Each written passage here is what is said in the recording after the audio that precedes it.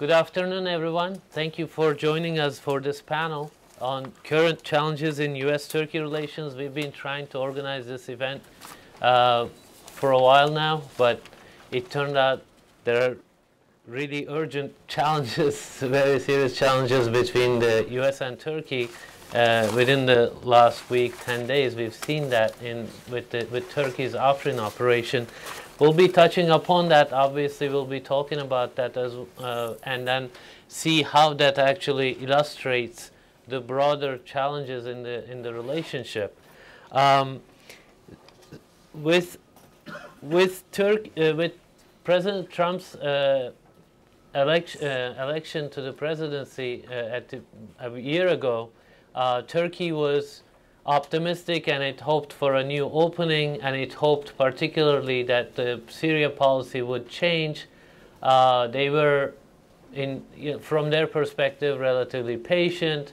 They waited for the U.S. to reconsider um, its, uh, its relationship with particularly the PYD in northern Syria. There was the impending Raqqa operation at that point. Turkey proposed various alternative plans which were not uh, accepted by the U.S. And then basically Turkey was saying, well, we'll talk again after Raqqa is uh, is over. Um, and Turkey has claimed, you know, there are there are several promises that were not kept by the U.S. But um, the U.S. continues its presence in northern Syria, and then, as we saw, we will discuss this as well. Uh, Secretary of State Tillerson uh, sort of gave a new rationale for being in northern Syria for the U.S. forces in terms of confronting Iran. So that's uh, that's pretty much the biggest uh, major change uh, in terms of U.S. policy, perhaps.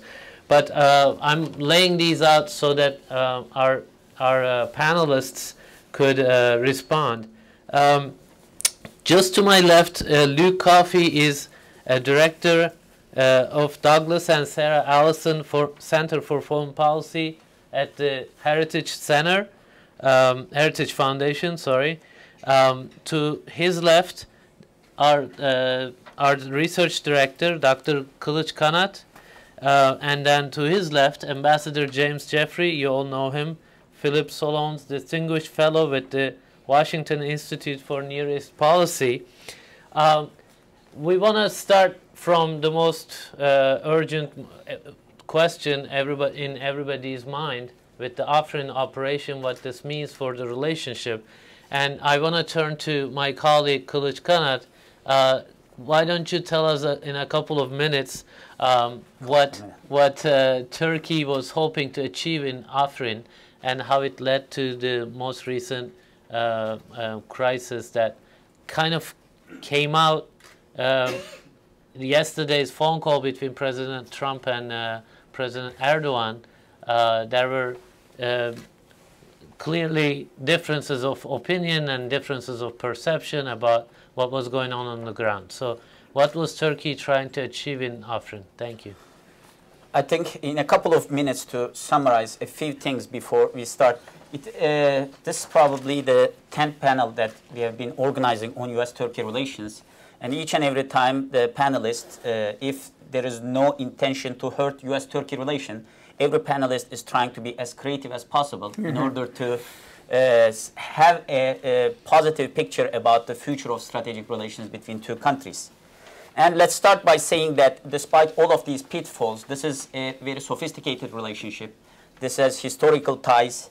And uh, despite some uh, analysts or some people who argue that uh, two countries now have totally different diverging interests, strategic priorities. Two countries are working together in Afghanistan. Two countries are working in Iraq. And yes, despite some uh, who underestimate the significance of NATO, both countries are members of NATO. So this is a solid alliance who are having significant challenges. And those significant challenges are uh, because it, uh, at the beginning it wasn't taken seriously and it wasn't handled properly is creating now strategic divergences in the context of Syria. And part of that reason is increasing ambivalence uh, first reason is increasing ambivalence in regards to U.S. alliance relationship around the world. So this is not only regarding to Turkey. In each and every panel, I try to repeat that the, the deprioritization of the U.S. allies has been considered as a significant problem of U.S. foreign policy. And each and every region, U.S. has allies who are having that ambivalence and concerns about the U.S. strategic goal in the coming years and what will happen. And because of this uh, uh ambivalence, actually, uh, the U.S. allies are looking for alternative diplomatic initiatives, and it's creating some diverge, uh, divergent threat assessment for these countries, which is creating uh, significant strategic divergences as well. Of course, when you talk with these, when you uh, have a conversation with the national security experts of these countries or the officials, all of them will say that US will be their first priority and US will be their choice to have this kind of strategic relationship. But this ambivalence is creating problem. And in regards to Turkey, for the last three years now, almost three, three and a half years, we started to see that there is a increasing divergence in regards to Syria policy and with the YPG's increase, uh, U.S. support for the YPG, this is getting uh, somehow more uh, dangerous. Of course, despite all of the uh, statements on the U.S. side regarding their uh, regard for the Turkey's national security, all of the nation states, all of the countries would be prepared for the worst when it comes to national security. And all of the countries need to assess what could happen in, the worst case scenario uh, for the national security of that country. There is not much discussion that we need to do about the, that PKK, PKK, YPG, and these are similar groups. These are uh, basically, when you look at the KCK's regulations and uh, resolutions as well, it is the same organizations that we are talking about. The recruitment, organizational leadership, ideology, there is no difference between these two organizations. So we don't even need to discuss if the, these are the same organizations or not. So you can understand why it's YPG issue is creating this kind of concern for Turkey. And in regards to Turkey-US relation, there are constant promises either behind the closed doors or public given about the Turkey's concerns about YPG. So YPG was instrumental to defeat ISIS according to US, but since the beginning of this cooperation, US constantly uh, telling Turkish officials that this is tactical, temporary, and limited. And each and every time, Turkey was trying to figure out what does tactical means, what does temporary means, and what does limited means. And there was this kind of, you know, like increasing uh, expansion on the ground. So it was first Kobani, then it became some other regions, most uh, importantly Tel Abyad, then it went to Manbij, and then it went to Raqqa, and then it went to Deir ez-Zor. So Turkish side rightfully is asking what will be the end of this cooperation. And we know that Vice President Biden, when he visited Turkey in August 2016, he gave a promise and he basically warned YPG that if they don't move to the east of Euphrates, US may start, stop supporting them.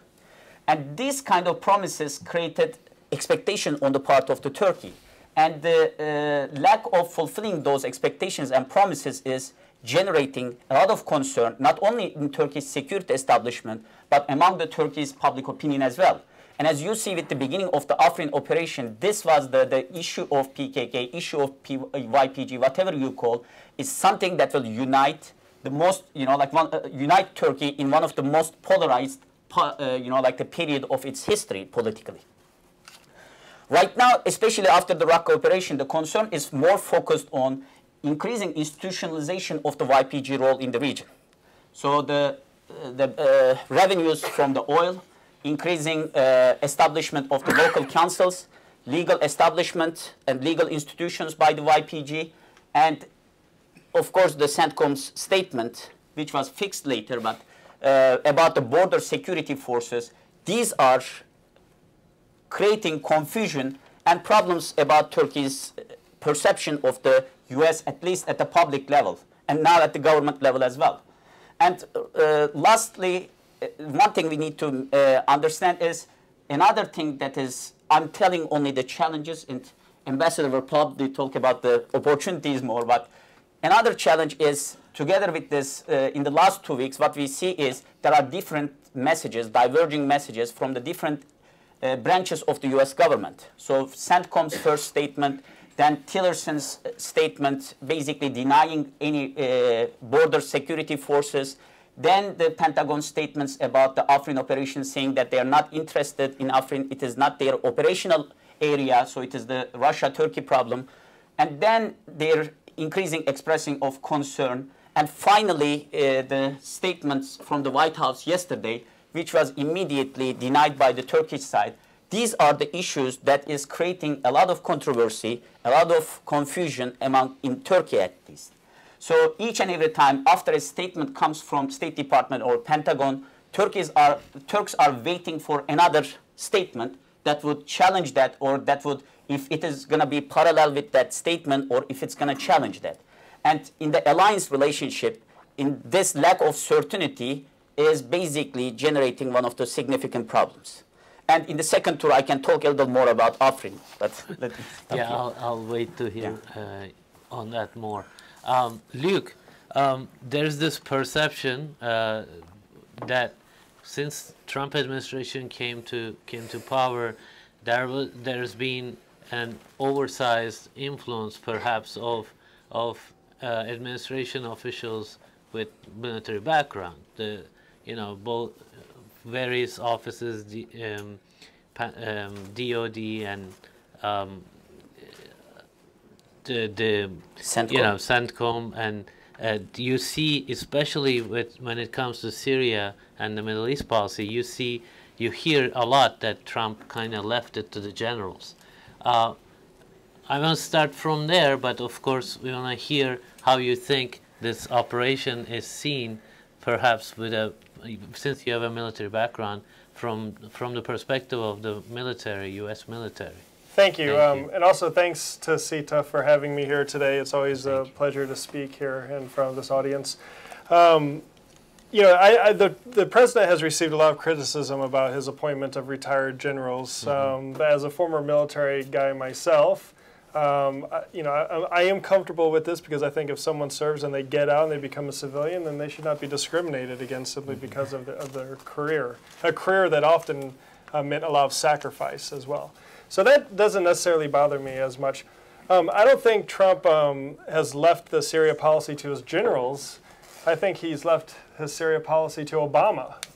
Um, President Obama um, is the one that his administration, in a desperate move to make it look like they were doing something in Syria, was the administration that decided to um, get into bed with the YPG. And, uh, you know, President Trump has doubled down on this, on this policy. It was very clumsy the way we went about doing this. We thought to ourselves, well, the American public, they want the defeat of ISIS. This is what they want. We need to give them the defeat of ISIS no matter what the cost.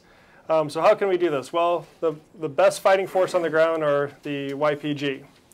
Um, and don't get me wrong, they are very courageous fighters, very competent fighters, regardless of your views on them being a terrorist organization or not, they're very good fighters. So the U.S. decides to arm and equip this group and then really push, push to the limits um, what this organization um, can do. And now it's, um, you know, fast forward to the Trump administration. They've adopted this wholeheartedly. They've, you know, like I said, doubled down on it. And no one has decided to sit back and look at the second and third order effects of what this policy means. And sometimes I feel like the Trump administration tried to overcompensate to try to finesse this, um, this policy, uh, but it's too late for finesse. Um, these issues, the grievances that the legitimate security concerns and the legitimate grievances that our NATO ally has um, should have been addressed in the very beginning, and we're trying to play catch up. So I think that President Trump missed an opportunity to try to take a, a, a different approach uh, when it comes to U.S. support for, for the YPG. I think if you, um, and I've said this actually in this room before, and, and I'll say it again, I think if, if you ask the average American walking on the street um, what they thought about their tax dollars going towards um, supporting a neo-Marxist group with terrorist links to a terrorist organization that has killed NATO soldiers and U.S. civilians at Turkish resorts, um, they would be appalled by this. right? But nevertheless, we are where we are. Um, this is the situation we face, and we're still very clumsy. Um, the, we made promises that is outside our ability to keep. For example, we, we tell Turkey, don't worry, the weapons we're providing will not be used against Turkey. The training we're providing, these, this, the, the skills gathered from this training will not be used against Turkey. This is outside the ability of the United States to maintain these promises, right? We've said that the YPG wouldn't go in certain areas, and they are in certain areas. We said the SDF, the Syrian Democratic Forces, which is merely a, a cosmetic name change to the YPG, that it would be more representative of the social fabric found on the ground in northern Syria. You have a very small Sunni Arab contingent in the SDF, which is mar heavily marginalized from the decision-making processes, the governing structures of the SDF. And um, I, I, get why uh, you know, Turkey's concerned. I, I really do. And, um, you know, the biggest concern Turkey has is with that border with Syria. And what does CENTCOM call the force that they're going to create with the YPG? A border force. I mean, it's like we, we, we keep falling into these pit holes, these traps, and you know we dig the hole deeper for ourselves, and then we have to spin our State Department has to spin its way out of it, and and there is a lack of coordination um, and this, from the different agencies in the White House. And this isn't um, unique, particularly unique, I would say, to, to the, what's happening in Syria.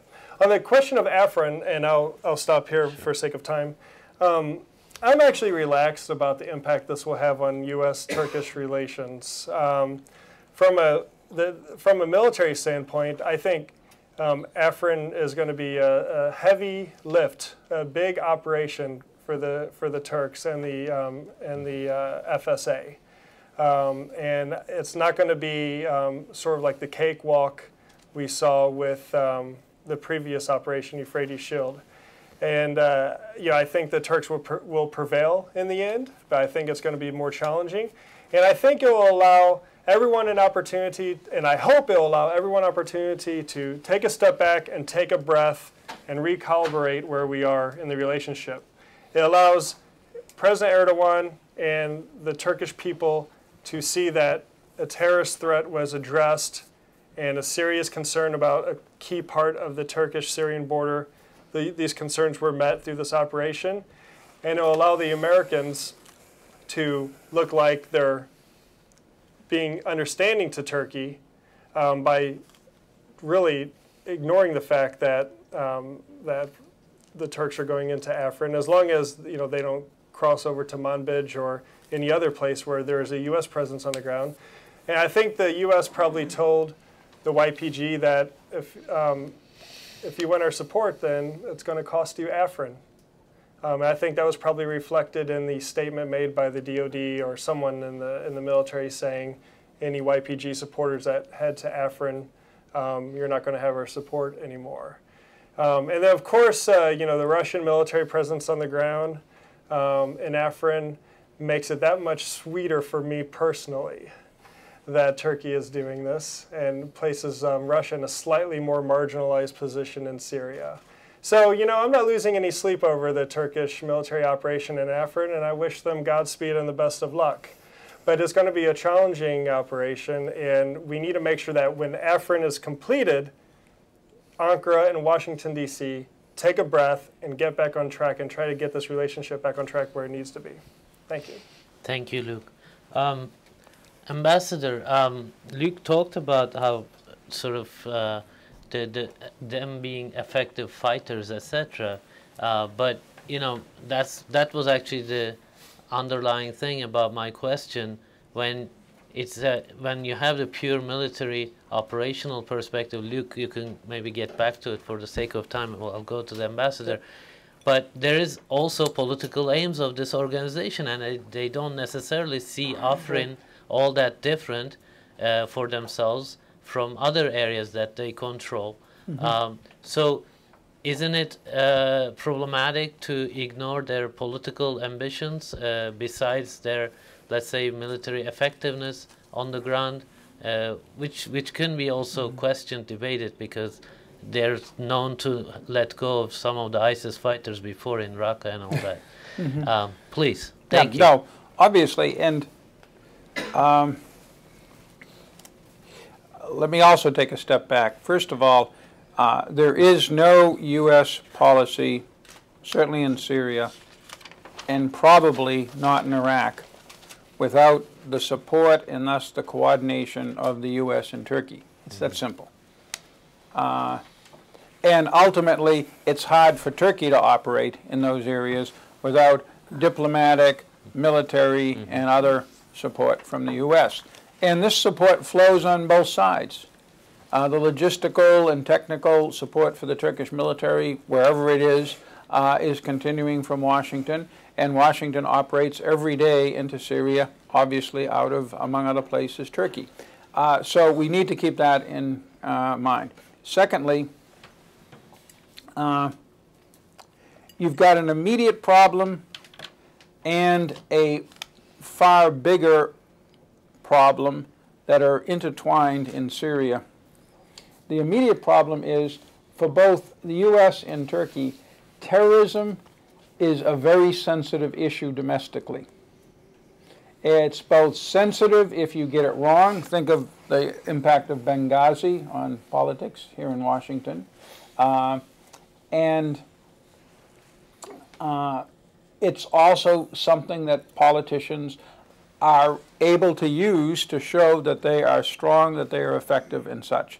So with the U.S., it's fighting our least favorite group, Daesh or ISIS. For Turkey, it's the PKK. Now, Turkey also has been attacked repeatedly, more than most nations, from Daesh. But on the prioritization of threats, it's the PKK for good reason above Daesh. The U.S., on the other hand, sees Daesh as the bigger uh, threat, but recognizes the PKK as a threat to Turkey and to the alliance and to uh, Europe in various ways. Uh, but so therefore, there is this divergence on which terrorist group is the most immediate.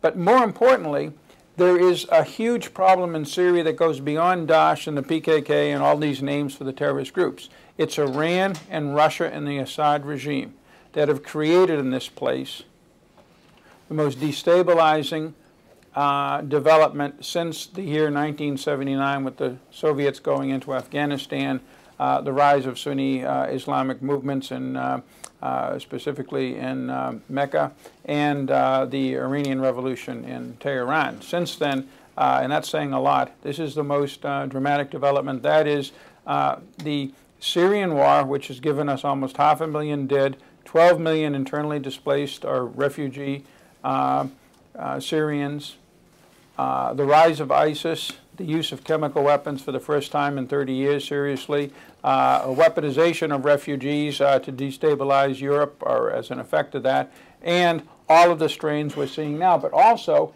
it empowers terrorist groups. It empowers the PYD. And that was done by the Syrian government, which pulled out of the PYD areas long before the U.S. got on the scene. Uh, and it also empowers the growth of ISIS, either deliberately or because of the way that uh, uh, Iranian surrogates such as Maliki in Iraq or uh, Assad in Damascus treat the majority Sunni Arab population in these areas. So the Syrian problem and the related Iranian expansion and the Russian role in entering militarily into the region for the first time since 1973 shot of Afghanistan uh, are the major problems that both the U.S. and Turkey face. They're not just geostrategic problems in and of themselves that also impact Jordan and Israel and other places. They also feed the whole terrorist agenda. We know the Syrian relationship over the years with the PYD and the PKK. We know how the Iranians and Assad either deliberately or by malchance created ISIS in the first place. So we have the, so the terrorists. It's not just that they're two separate threats; their threats are tied together. So the U.S. is trying, and this is the difference with Trump uh, and Obama. Uh, has decided now that the fight against Daesh is basically completed as a military, conventional military operation, that uh, the U.S. needs to have some impact on the outcome in Syria.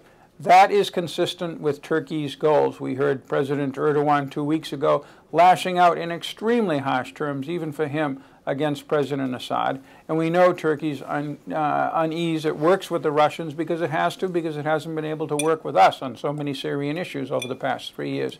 But there's a, a, a, a conjuncture of interest between the U.S. and Turkey on this. So why haven't we done better? Uh, first of all, there is a lack of uh, coordination, I think we've all said this in one or another way, but I've never seen it as bad as this between the people in the field, and it's not the military versus civilians, it's the people in the field, including state people, and the people in Washington who have to worry about Turkey, have to worry about bigger problems, and have to worry about the Iranian threat. Uh, that's the first problem. Then there are issues that uh, uh, Dr. Kılıç mentioned about the overall uh, problems with the Trump administration, some of which are, are pretty unique to the Trump administration. Uh, but then the third thing is uh, the new policy that Tillerson announced that means that maybe us staying in northeastern Syria and inevitably working with or having a relationship with the PYD slash SDF slash YPG uh, is not a temporary thing because it's part of a larger strategy to try to affect the overall outcome in Syria. That policy was not coordinated with the Turks. It was sprung on them through a variety of announcements and other things, in part because it's not that we're good allies, how can we coordinate something with the Turks that we haven't even coordinated within our own government with the U.S. Congress and the American people? Thus, two weeks ago, David Satterfield, the acting assistant secretary uh, uh, for the Near East, was up uh, before the Senate Foreign Relations Committee, and they kept asking him, uh, who's authorizing you to keep troops on in Syria? Uh, your authorization was uh, under the 2001 fighting Al Qaeda authorization, and if that doesn't obtain anymore, uh, what are you doing there? And he couldn't answer the question. So we have an internal problem here that is impacting in all kinds of way a relationship. Now, we haven't talked about it yet, but I'll just throw it out so that we can then pull it back. There are a whole variety of other issues between the U.S. and Turkey that could be best summed up as legal issues between uh, the Zarrab case, um, and uh, Fethullah Gulen and various arrests and various uh, accusations and such. These are very hard to fix, and they don't get, however, to the existential issues in the relationship. What goes on to Turkey's south is existential for Turkey, period, for many reasons. All of these threats together are separate. And uh, is extremely important to the United States because its whole role in the Middle East is being called into question by what's going on, particularly in Syria, and the security of not just one ally, Turkey, but of Israel, Jordan, Iraq, and further afield, the Gulf countries and Egypt are all being called into question too. So uh, the U.S. is very engaged, Turkey is very engaged. Our fundamental differences are not that great. Uh, I'll end in one point. Whenever I um, have a discussion with Turks, I say, okay, you're right, PYD equals PKK. I certainly know that. So we'll just leave northeastern Turkey tomorrow. What are you going to do then? One of the most senior officials in the uh, uh, Turkish government, I think one of the two of you were there in that discussion, uh, smiled and said, that's a really good question. Uh, and we need to work through those questions. What does Turkey want the United States to do in concrete terms uh, and for what purposes? So I'll leave it there. Well, thank you, Ambassador. I want to go quickly to Kılıç. Uh, so what does Turkey want to do in Afrin specifically, and can that, uh, how is that going to carry over to the broader northern Syria question? So Turkey is, uh, what Turkey was planning to do in Afrin is actually similar to uh, Euphrates Shield operation, but uh, the use of, uh, there are different operational uh, kind of divergences. So basically to clean out the uh, terrorist organization from its border, which is key because especially uh, the flow of terrorists from Amanos Mountains to the Mediterranean region of Turkey was always considered as a threat.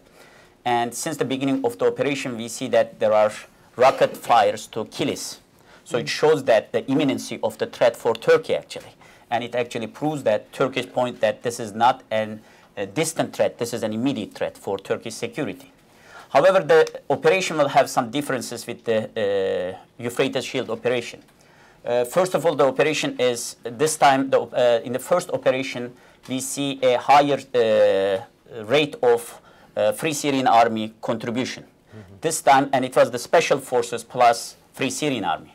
This time, uh, Turkish military is engaging in this conflict with its regular army, actually. Mm -hmm. And it shows the, actually the improvement of combat preparedness, especially after the July 15 coup attempt, uh, this is important to show that they are more ready to, for these kind of combats. And uh, secondly, in Afrin operation, uh, in Euphrates Shield, it, there was just one front. And in this, uh, Turkey has four different fronts. Four different fronts means four different military tactics on the ground because of the differences in the territorial domain. So uh, most of the Euphrates Shields operation was taking place in a plain uh, area but this time when you look at this, you will see that in the west side, it is a mountainous region. And in the east side, it is much more plain, just like Euphrates Shields. And uh, most of the uh, northern, uh, southern side is through a lot, with a lot of hills, which gives much more strategic high grounds uh, to, be, uh, to get. And which shows that there may be much more tunnels, caves, much more ammunition for the uh, YPG to use. And compared to Euphrates Shield operation, this time Turkish army is facing a more sophisticated group, actually. When you look at that, there are different, especially in the countryside, there are HXP, which is basically the regular army. There is the voluntary army that is in the urban field in Afrin. And there is YPG members who are much more sophisticated and who are controlling the more strategic grounds. And in regards to the end of the operation, uh, what we are seeing right now is Turkey is kind of, in this operation, it is much more open-ended. And they are going really slowly. They are basically moving slowly, carefully. But uh, compared to Euphrates shields, what we are seeing that there is an increasing degree of uh, loss in the YPG members because it is going slowly, you know, like the, many people were telling that this is going slowly than Euphrates shields. But considering the terrain, considering the sophistication of the YPG in the area and their preparedness for the last couple of years, actually, this is an important issue. And to bring back to U.S.-American relations, this is the important thing is there is a concern that, yes, you know, uh, as Luke said, yes, there may not be weapon transfer from uh, east of Euphrates to west of Euphrates or Afrin. But uh, one of the concern is the uh, trainers. So U.S. Uh, trained a lot of trainers uh, in the fight against Daesh. And now ISIS, and now what will these trainers gonna do? Because we know that in Afrin, most of the trainers were coming from PKK, actually, directly from PKK, to train and organize these groups.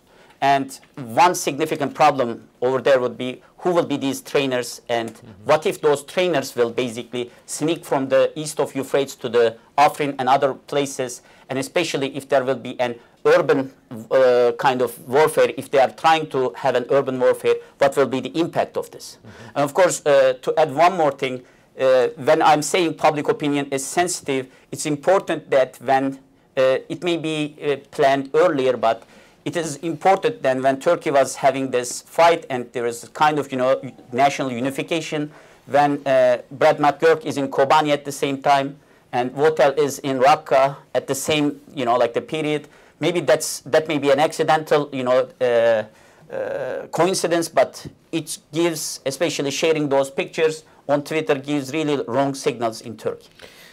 Luke, I raised that question about uh, your initial remarks, uh, the political aims, differences between political aims and the military operations. And Kılıç mentioned this, uh, you know, organization sort of uh, having their trainers travel throughout the region. We know like they moved from Turkey as well to northern Syria.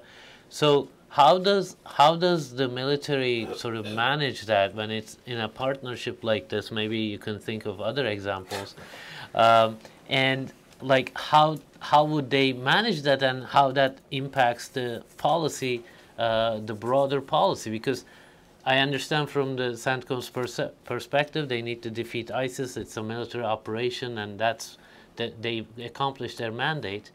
But then when it carries over to these broader political problems, including confronting Iran as an ambition, U.S. Um, uh, sort of policy, uh, how, how does that play out on the ground uh, yeah. operationally?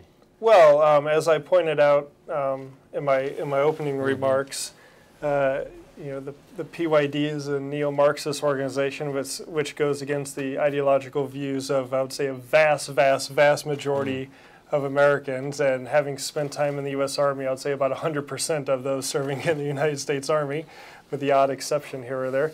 Um, so, but, but this is actually secondary to um, the, the broader um, goals for the United States in Syria. I'm not saying this is right. I'm not saying it, sh it should be secondary, but the reality is mm -hmm. it is secondary.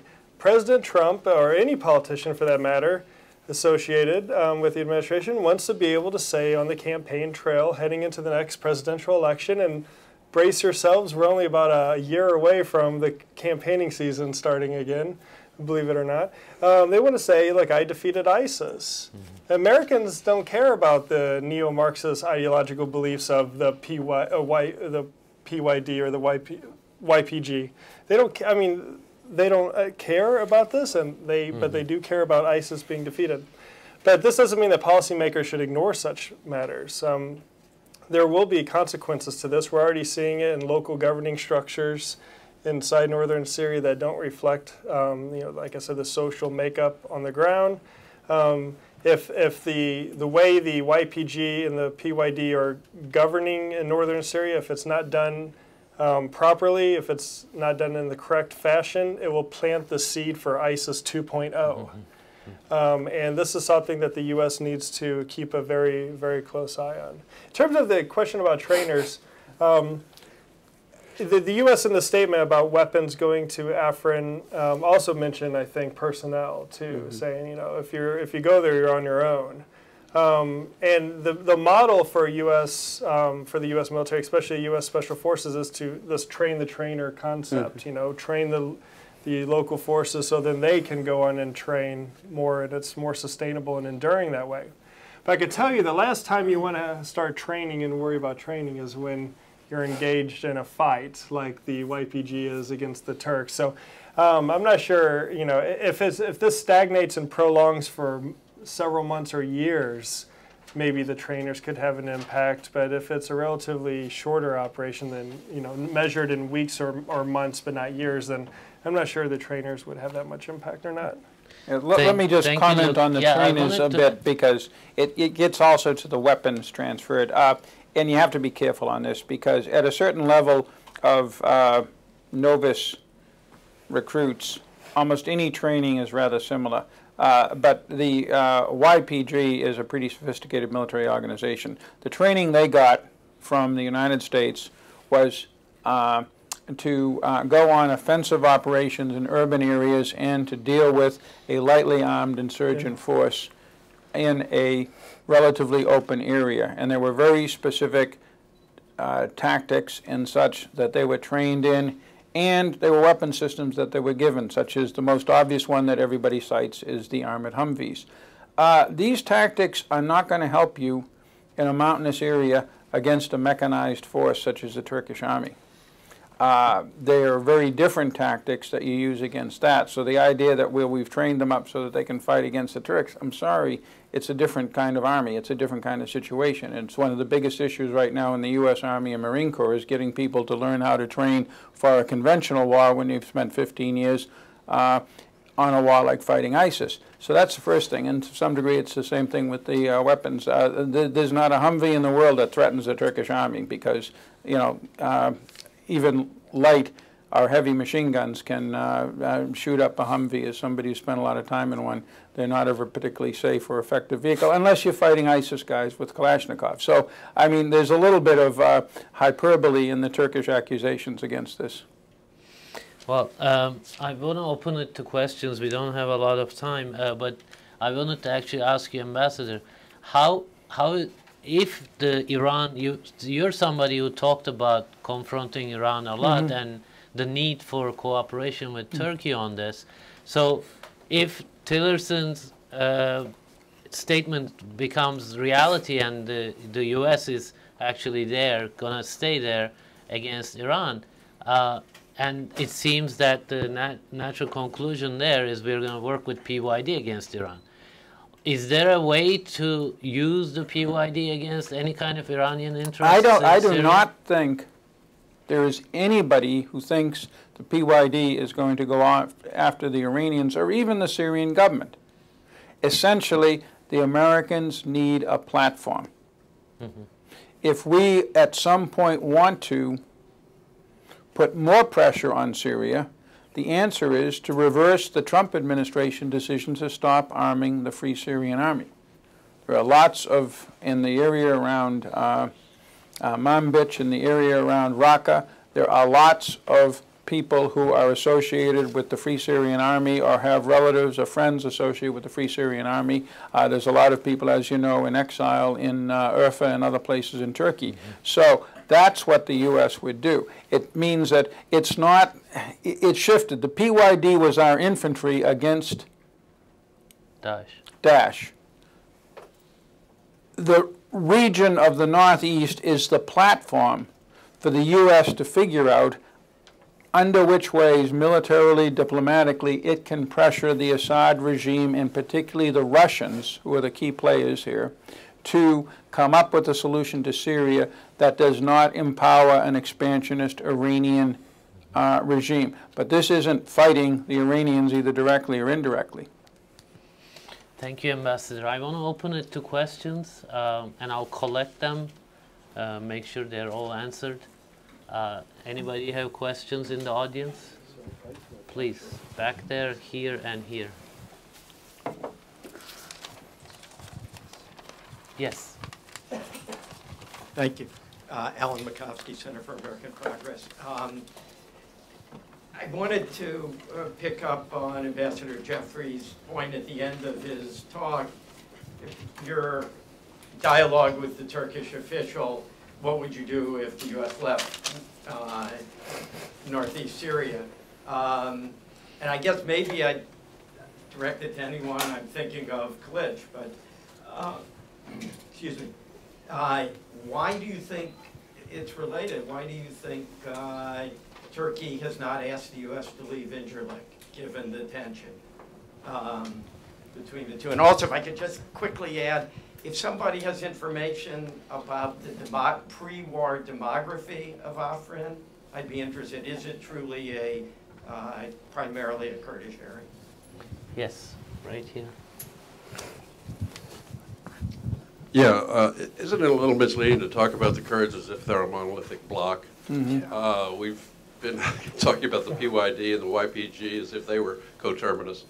Um, The uh, Turkish government, I believe, is presently in negotiations with the uh, Kurdish Autonomous Region in Iraq about exporting oil through Turkey. Are there Kurds in northern Syria that the uh, Turkeys find acceptable to work with? And right here. Hi. Uh, yeah, Depending on whose numbers you believe, this year Turkey's population is probably going to exceed Germany. Uh, They probably already have the second largest land army in NATO. Isn't there some sense that Turkey's, in the next 10 years, is going to start to sort of outgrow its, just another NATO membership uh, position? Outgrow NATO membership position, you Yes. said? Okay. Any, anything else? I just want to save some time. Ambassador, Um, And let's say, let's also say it's tripled its economy in the last 15 years.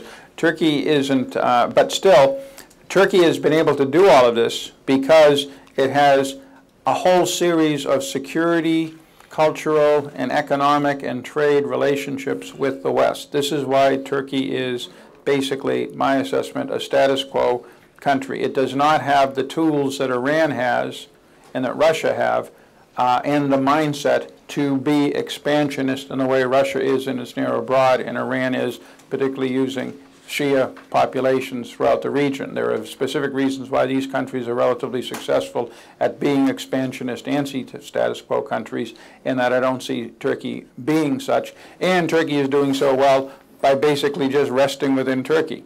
uh, and uh, nurturing these relationships. Uh, in terms of Alan's question, again, um, essentially there's just four things that can happen to northeastern Turkey. Uh, pardon? Northeastern Syria. Northeastern Syria, yeah.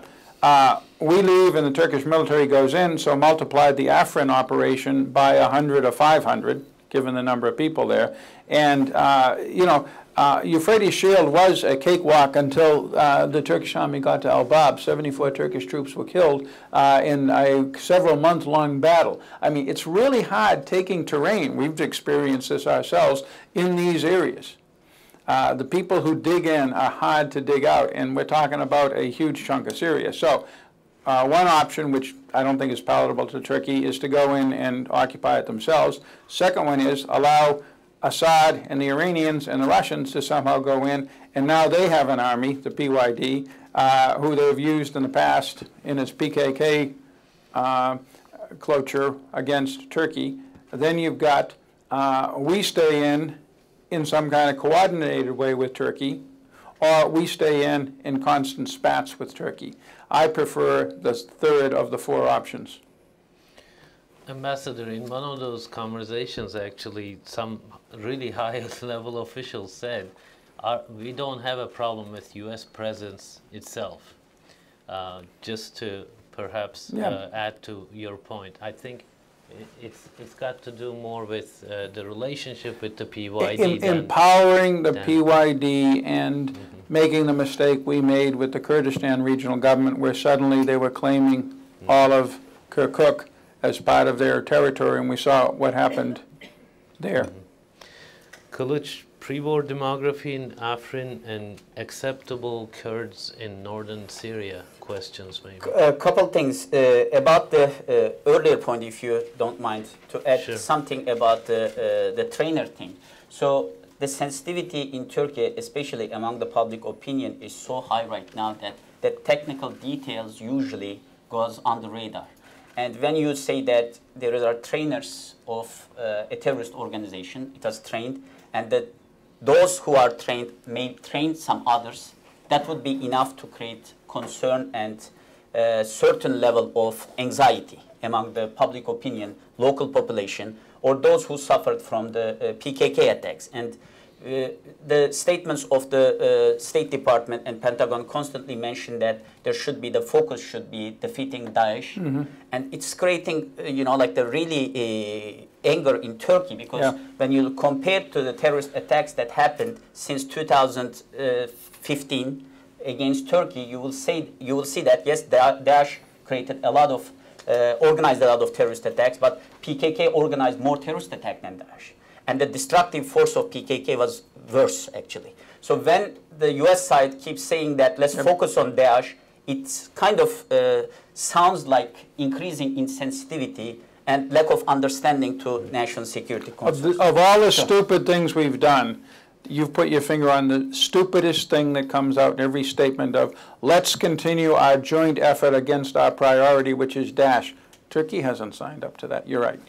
Does that relate to the Incirlik question too? That because Incirlik, uh, I mean, the operations are against ISIS, so The, it's still going on. The Euphrates Shield, you know, like the both uh, Jarablus and El Bab was uh, basically controlled by Daesh. So it is the primary target was over uh, there was Daesh.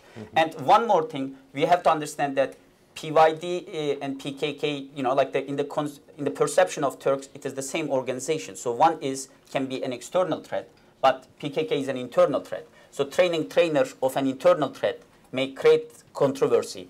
And not all of the PKK, uh, YPG members were seasoned PKK fighters. Especially at the beginning of the Kobani, we see that there was a huge recruitment process organized by PKK to find uh, basically members inside for Turkey, yeah inside inside Turkey to members in uh, uh, me- uh, members of PKK trying to recruit more members to YPG.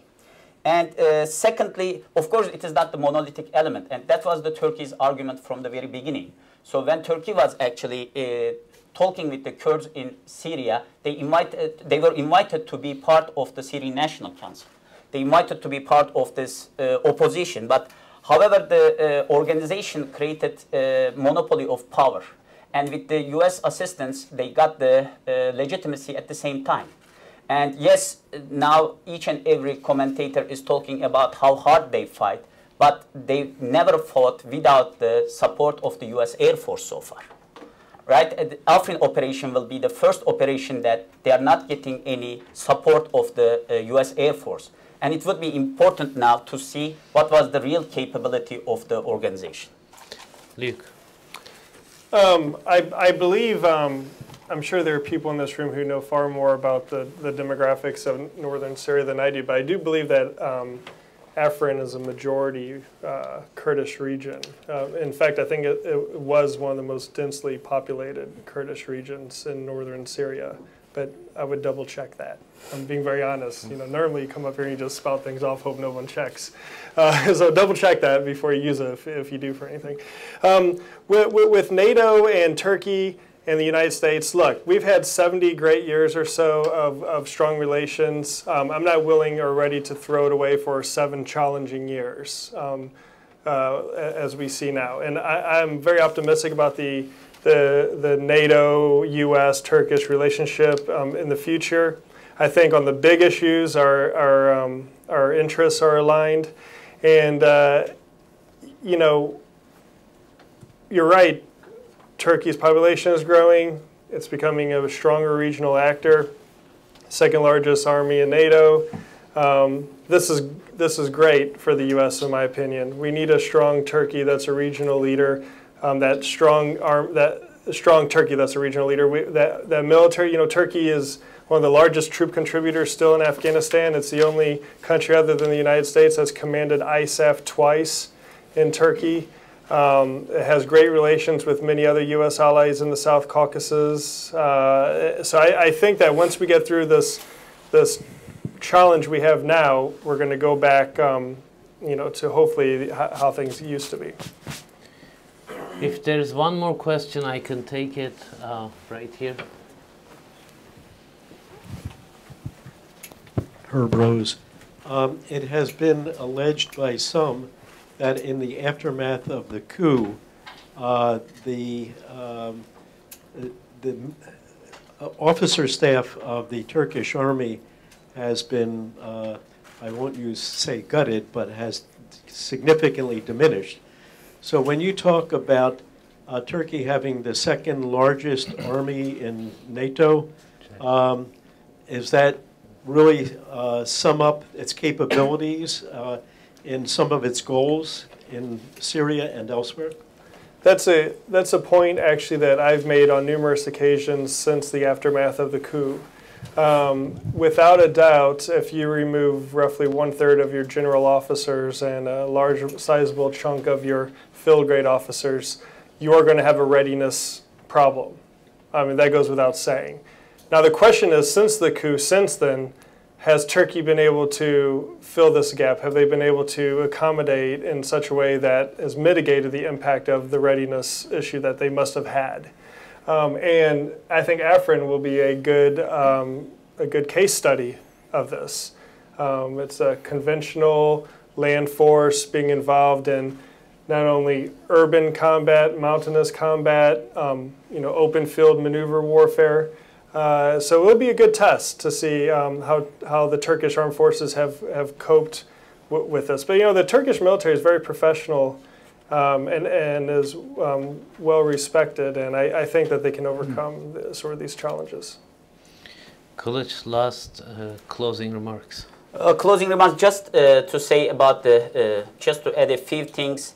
Uh, the operation will show, but especially the uh, one of the, uh, especially during the Euphrates Shield, there was uh, questions, especially in the Western media, about the capability of Turkish air forces, and especially during the Elbab operation, there was some questions about the logistics to provide logistics for the troops over there, so that they can do the clean and sweep operation effectively mm -hmm. and hold the territory for the Free Syrian Army or the Turkish forces. And in this operation, what we see is in the first couple of uh, days, we see 72 uh, jet fighters, F-16 actually joined the operation. So it's kind of, you know, like at the same, it's important that they targeted, you know, like the one, uh, 113 different targets. and eliminated 108 of them. And they were considering when uh, the commentators, especially national security correspondents, were telling that it's a you know in, in a very short, in a very limited area actually, to have these huge operations with 72 planes is kind of you know showing that they are uh, they become combat ready again uh, in at least at uh, pre July 15 level. And as uh, Luke said, the uh, operation is important to, and it will show because, as he mentioned, there are different forces and different asymmetric forces on the ground, together with some frontal army that the Turkish military army may face.